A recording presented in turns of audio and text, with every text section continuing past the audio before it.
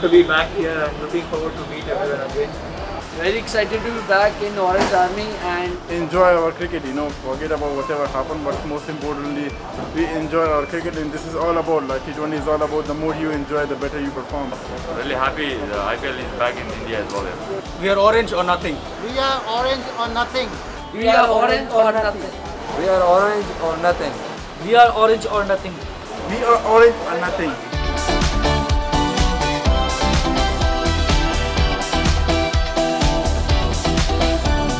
See you in seven days. Hope should be quick.